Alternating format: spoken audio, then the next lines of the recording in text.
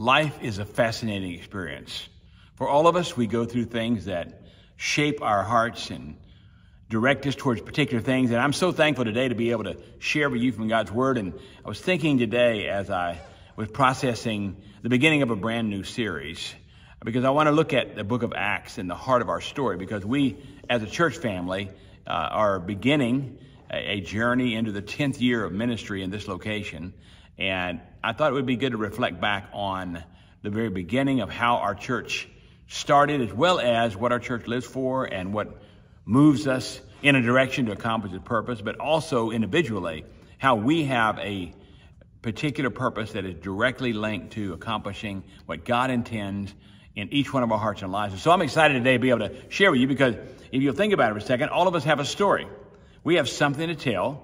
Uh, we have an opportunity to share. We have a a blessing uh, to extend.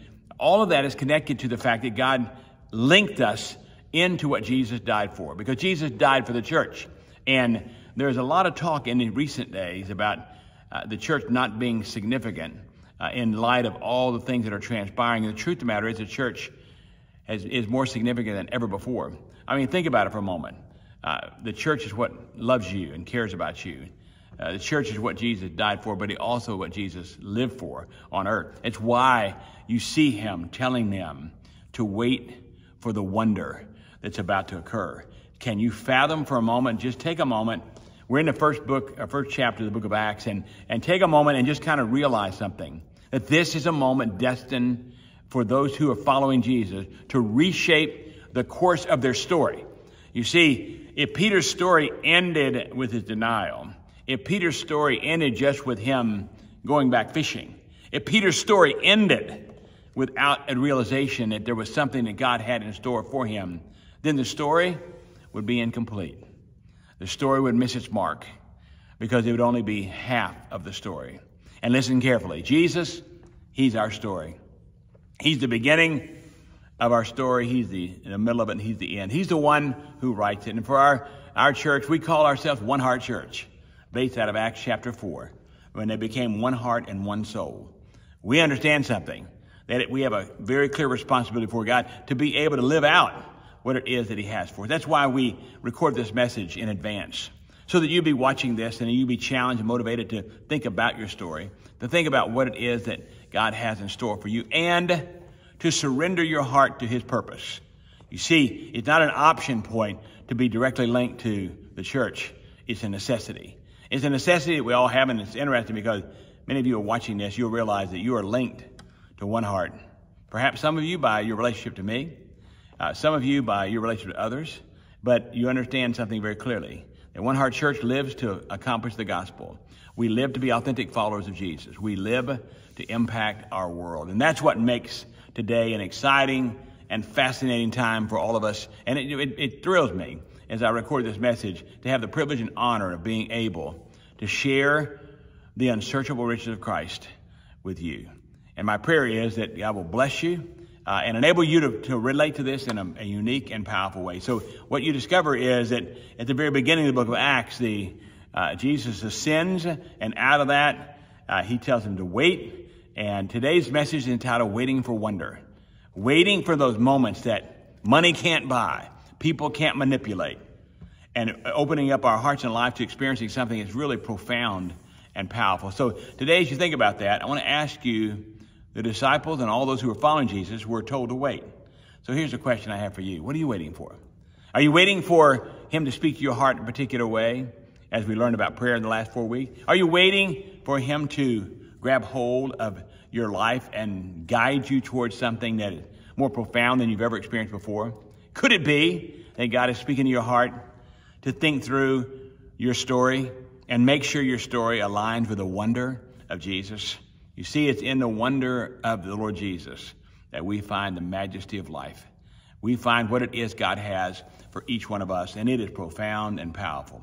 So today, as we launch this study, we're going to be looking at this for through, the through the fall, and uh, school has resumed, and life is back in gear, and I think it's an important time for us to launch into this new series because I think it will help you. And, and what I'd like to show you throughout this series is, is the church moves forward by four very distinctive and powerful things. First of all, the church moves forward when it has a vision, a vision to accomplish something, a vision to, to do something amazing for God. Secondly, it moves forward when there's an equipping model where people can learn how to be more effective and learn how to experience God's intent. A third area is we get to experience the power of God at work in our lives because we get to see amazing things happen through the church. And finally, key, another key area that we're going to look at, you're going to see these interlaced throughout all the messages that we look at uh, in this entire study. Uh, finally, we look at what happens when we're motivated. What kind of motivation do we have? So think about it just for a second. He gives you a vision. Out of that vision, he equips you to accomplish something.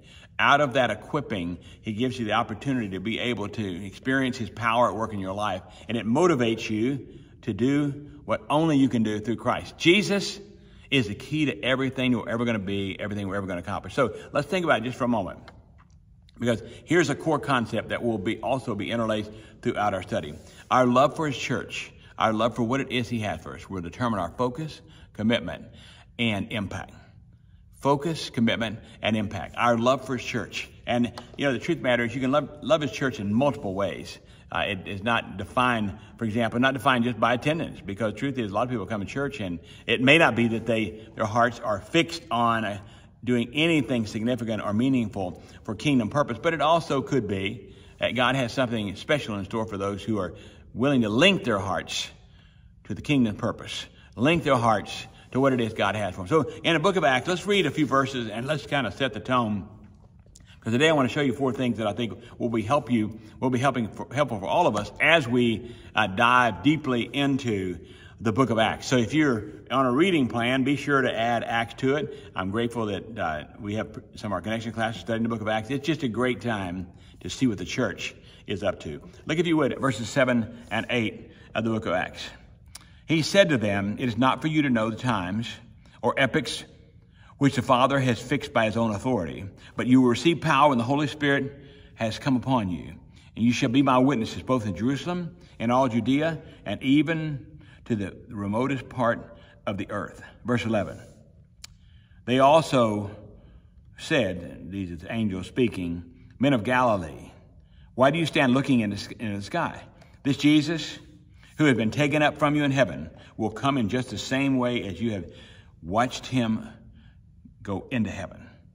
Now you realize that, that when you see this, you realize that there, there was something powerful was about to transpire, and that was that they were going to get to watch the ascension, but also be challenged to live out their purpose. They got to see the majestic and beautiful picture of Jesus going back to the Father, but they also got to see the reminder and hear the reminder. Don't just keep gazing up there. Wait for the wonder of what it is only God can do. That's what they were positioned to do because they had said, You're going to receive this power. Jesus said it. And it's going to empower you to be so effective you can't imagine. Now, think about the Holy Spirit's guidance in all of our lives, how it guides us and motivates us and helps us. There's something beautiful about how God works in each one of our hearts and lives. So today, let's look at this text and let's see if we can't discover, uh, because what I want to show you is I just want to watch his plan unfold. As, as we're watching his plan unfold, I think something become very clear to you, and that is that uh, what you are experiencing is absolutely Uh, and directly linked to His purpose for your life personally. I hope it will speak to you in that very way. First thing you see is it. There's an affirmation of His plan in verses 1 through 3. Look at it with me if you would. The first account I composed, Theophilus, about all that Jesus began to do and teach until the day when he was taken up to heaven, after he had been by the Holy Spirit given orders to the apostles whom he had chosen. To these he also presented himself alive after his suffering by many convincing proofs, appearing to them over a period of 40 days and speaking of the things concerning the kingdom of God. So when you realize that here he is and there's the affirmation of what it is he came to do. And it's interesting because what you discover is that there's something that you and I must grasp as well, and that is we have to come to the place where we understand that we submit to his spirit we submit to his spirit. And you, and you read here how Jesus obviously connected himself uh, to the spirit and spoke to their hearts and lives so that they would have direction and purpose and guidance. So we submit ourselves to his spirit while at the same time we focus on the kingdom. You'll notice you can't miss this in verse 3 where he says, speaking of the things concerning the kingdom of God. You see, Jesus didn't come back uh, to the men on the road to Emmaus or to the disciples gathered or to any other place. Jesus didn't show up just to chit chat and visit about things that were irrelevant. He came to speak about the kingdom of God because he realized that soon he would ascend back uh, into heaven. And so today, as you think about that, what do you talk about? What do you submit to? The truth is, my prayer is that you submit your heart to him and you talk about things that matter because the kingdom of God always matters. He loves you. He's got a plan for your life, and He does something for you as a result of you being willing to commit yourself just to wait to experience the wonder that God has for you. Then, if you look at verses 4 and 5, the second thing you see is this. He starts, there, there are instructions to follow that are absolutely essential. Look at you would, what he said, gather them together. He commanded them, here, here's Jesus talking, he commanded them not to leave Jerusalem, but to wait for what the Father had promised, which, he said, you heard of from me. For John baptized with water, but you'll be baptized with the Holy Spirit not many days from now. It's interesting because you discover something very essential. The first thing is this we, our hearts must yield to his command. In other words, he has something he's telling us. We need to follow those commands and follow them very clearly. And it's interesting because he made sure that he contrasted that the commands I'm about to give you are going to link you to the Holy Spirit at work in your heart and life. But he doesn't stop there because he also points out that, there, that our lives are going to be guided by the Spirit. In other words, the Spirit of the Lord is going to tell us, go here. The Spirit of the Lord is going to tell us, accomplish this. The Spirit of the Lord is going to allow us to experience something we never could on our own and calculate on our own terms. You see, today, as you think about that, I mean, imagine for a moment that you're, you're watching this and you're thinking about how important it is that we love His church so that we can uh, have the kind of impact we like to have, we kind of focus we want to have, the kind of commitment. And you know, the truth of the matter is that I, I've always been blessed and privileged to be involved in lots of different aspects of ministry throughout my lifetime. But I know what my heart rests on. My heart rests on the church, the church that Jesus died for. That's what you and I should do. So, first of all, you have an affirmation of his plan. Secondly, you have the privilege of being able to have very clear, two very clear instructions to follow. The third thing you see is found in verses 6 to 8. And it's there that all of a sudden he begins to give captive, the Bible begins to give captivating reminders of the times in which we live. And we do live in unique times, and we're captivated by what it is that God, God has for us. Look, if you would, verse 6. So when they had come together, they were asking him, saying, Lord, is it at this time you are restoring the kingdom to Israel?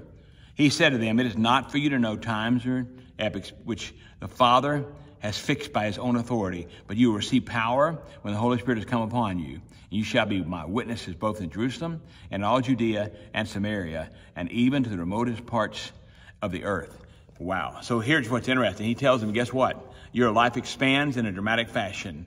And what you've got to be wise to is understand the times in which you live. You are positioned to accomplish his purpose. You and I in this generation are positioned to do the very same thing. So what does Jesus do? Jesus, he always clarifies.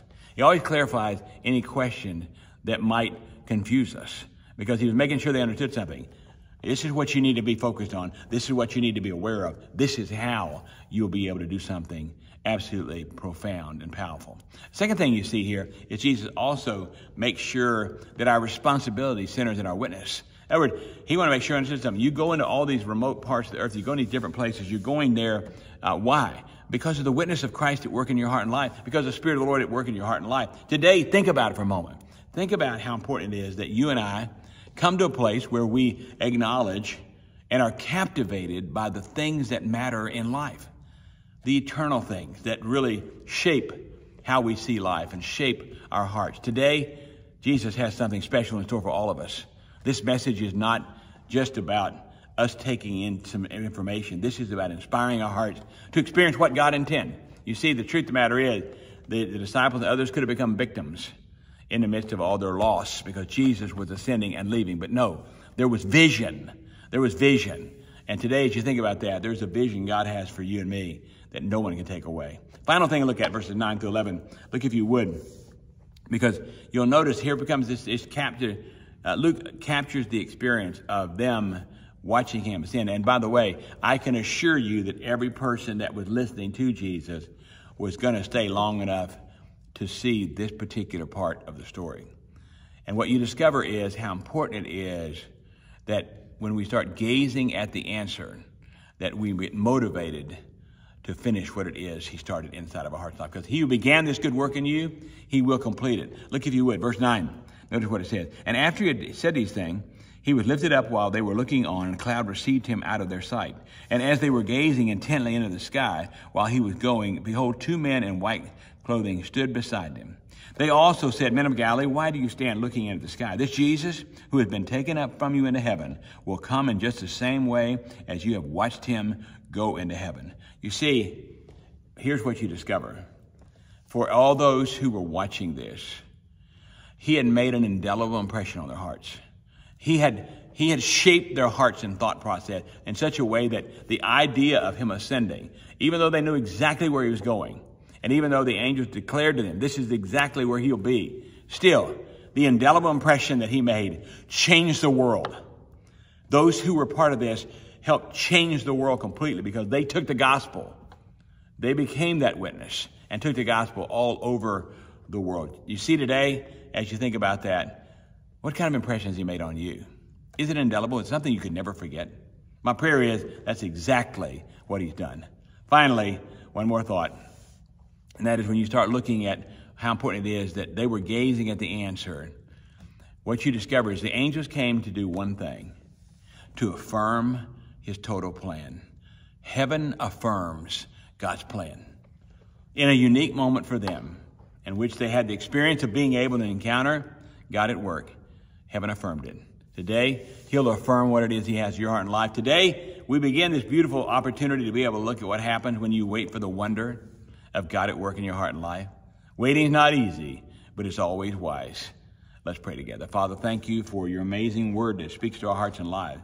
I pray you bless every person who's watching this. What a joy it is to be able to share your word with those who have a heart for you, who love the church, who help the church move forward. I pray, Lord, you bless each person, everyone watching this, wherever they are in the world. May they feel the love that comes from my heart for them, but also the love that you have for them that far exceeds any love I could ever extend. You are an amazing God who has great plans in store for all of us. Lord, this is an exciting study that I pray will bless the hearts of everyone who's watching. For we pray this in Christ's name. Amen. Well, I hope that you will continue to pray for our church. I hope you pray, continue to pray that God will allow us to have a, a kingdom impact in a profound way. And as I end this message, I just want to end with this question Do you love His church?